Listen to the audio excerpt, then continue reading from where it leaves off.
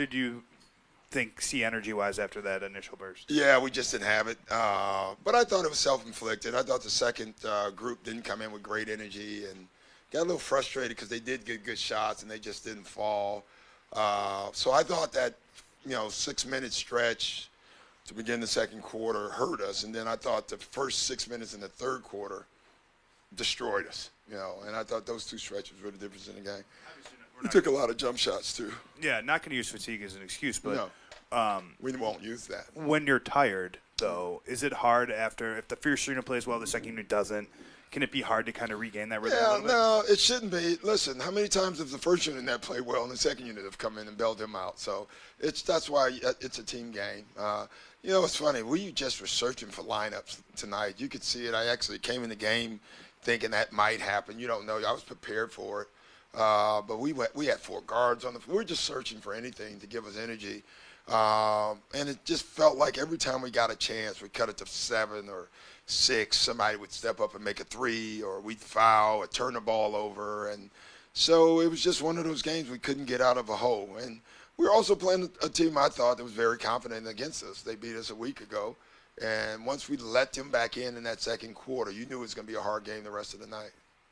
When you got within four toward the end, did, did you feel good about things, or did the game just had a bad feel? Um, I don't know if I felt good about anything uh, tonight. Honestly, I felt we had a chance to win the game.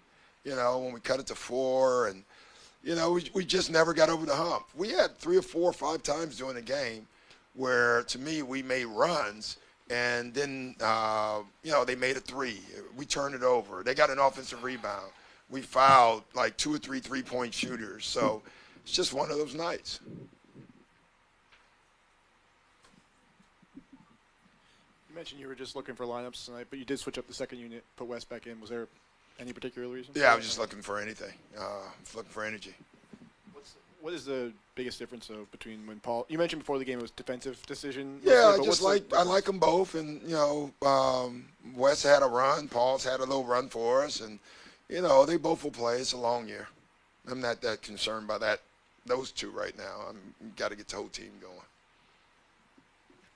I know you guys finished that road trip strong, but Yeah. uh, I think you have lost four out of six now. Does it Yeah. feel like a little bit of a funk right now? Not really. Just feel like we're losing individual games. You know, I don't um, feel like we're gonna ever be in the funk with this team. I really don't. We may drop games here and there, but I think we're gonna win a lot more than we lose. And um, this is a this is a good basketball team. Like I think a great team.